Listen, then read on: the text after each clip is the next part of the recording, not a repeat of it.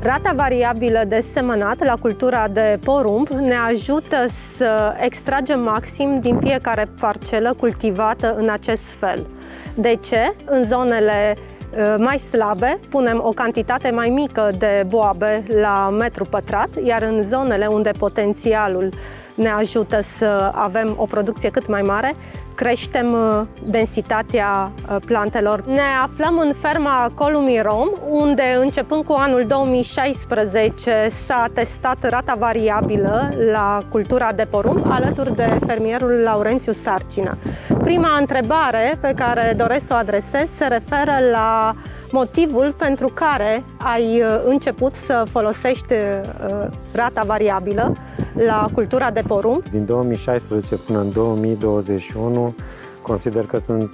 uh, au trecut suficienți ani pentru a vedea, în urma experiențelor făcute, beneficiile pe care le-a adus rata variabilă. Eu am înțeles că, în funcție de tipul de teren și calitatea terenului,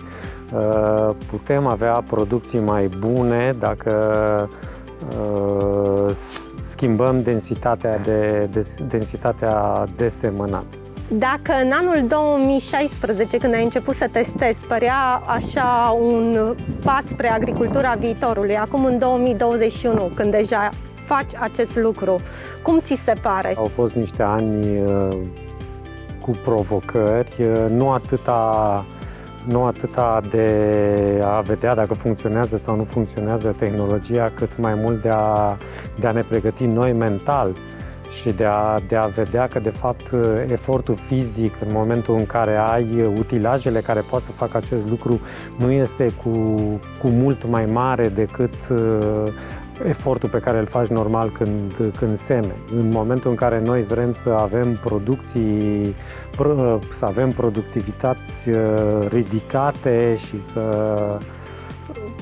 să folosim uh, la maxim uh, calitățile terenului, trebuie să ne orientăm spre, spre lucrul ăsta.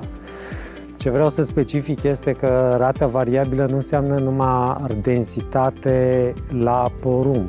ci spunem că rată variabilă înseamnă automat densitate și la fertilizare în funcție de densitatea porumbului. Pentru că nu este suficient să mărești densitatea porumbului și să nu faci fertilizarea pe măsură. Și altceva, ce, ce înseamnă rată variabilă, înseamnă de fapt că tu îți cunoști foarte bine terenul, parcela pe care semeni, și că în același timp, fără să mai faci acele, acele reglaje, tu poți să ai garanția că semeni numărul de plante pe care le vrei la hectar în funcție de tipul terenului. Vezi plusul și în toți cei 5 ani de testare ai văzut avantajul de a pune exact, de a crește densitatea acolo unde poți să crești și de a merge cu un, un număr optim de plante la hectar, acolo unde solul nu îți permite să crești densitatea. Ai spus foarte bine, nu mai ai pierdut ceva. Dacă hibridul îți permite să mărești densitatea, deci dacă genetica îți permite să mărești densitatea și uh, să uh, da, clar am văzut, un, am văzut în, ce, în acești ani de, texta, de testare că există, există producții mult mai ridicate și de fapt, pentru mine acești 5 ani de testare se regăsesc în investiția pe care am făcut-o. Pentru că dacă n-au fi fost acești ani de testare și n-aș fi văzut în fiecare an că este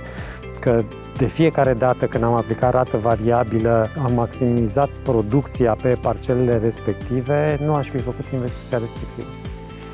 și la final, pentru alți fermieri care încă nu au încercat, doresc să încerce și poate totul încă li se pare o tehnologie a viitorului sau trebuie să facă ceva schimbări radicale 100%, cum a fost în cazul tău, într-o frază scurtă. Orice fermier poate să, să încerce să facă rată variabilă alegând hibridul potrivit cu semănătorile care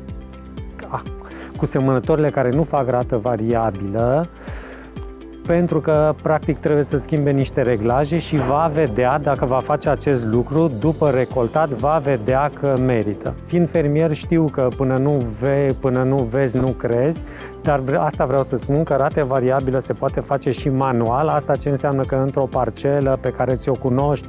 destul de bine și știi că ai diferite tipuri de teren, poți să-ți propui să semeni același hibrid în densități diferite și atunci la recoltat vei vedea clar că pe terenul mai bun, dacă ai pus niște, un hibrid cu o densitate, densitate mai bună, vei avea o producție mai mare decât pe terenul mai slab. Da, și ce nu am precizat este faptul că hibrizii de porumb testați și cei semănați în proporția cea mai mare la tine în fermă sunt hibrizii Bayer, genetica de calp, care știm cu toții că ei sunt împărțiți pe cele trei medii de producție și de aceasta un fermier ce nu are o semănătoare de precizie, ce poate face rata variabilă metru cu metru, uh, poate să semene același hibrid de calb în, uh, cu o anumită densitate într-un mediu de producție scăzut, utilizând același hibrid într-o altă parcelă unde mediul de producție este ridicat și crescând densitatea Uh, specifică hibridului și specifică solei respective.